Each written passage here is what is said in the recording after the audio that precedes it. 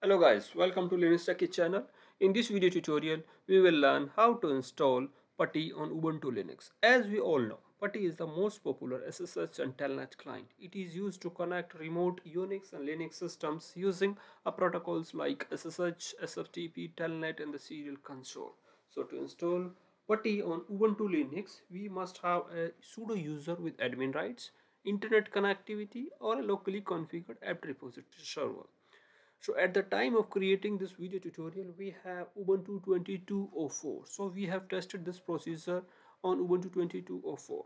So let's jump into the installation step. So to install Ubuntu, we need to run a couple of apt command. So open the terminal. Run the first sudo command and sudo apt update. It will update your local package index.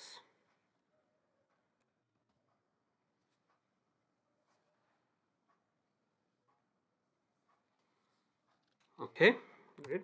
Now run sudo apt install putty hyphen y so it will install putty along with its dependencies. So it will take hardly a minute. So let's wait.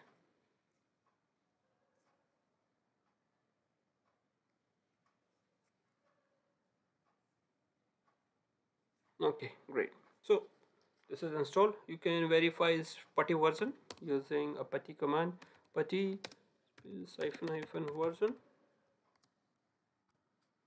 So putty version is 0.76 so we will test this putty installation. We will try to connect remote linux system using this putty. So to access the putty to launch the putty uh, go to the activity type here putty click on putty ssh client icon.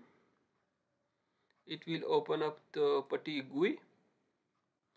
Okay let's try to connect our one of the Linux system.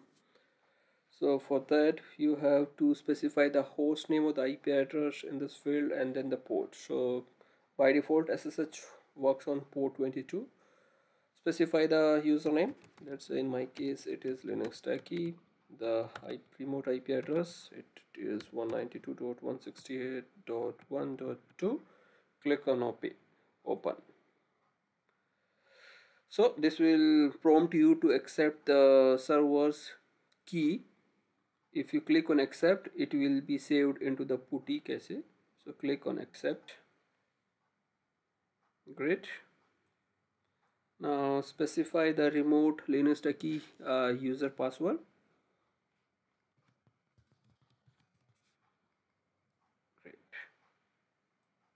I am connected to my remote Linux system which is RHEL9 mm.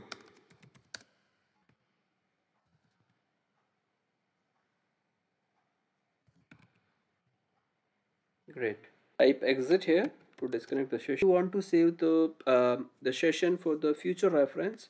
So in the hostname entries specify the username at the rate remote IP address 192.1.2 and uh, name of your session. So in my case I am putting it as db uh, RHEL9 click on save select the session name and click on load. And if you double click on it you can see it will prompt you the password. Specify the password here. Great so we are able to connect it using our saved session. That's all from this video tutorial. I hope you have found it informative.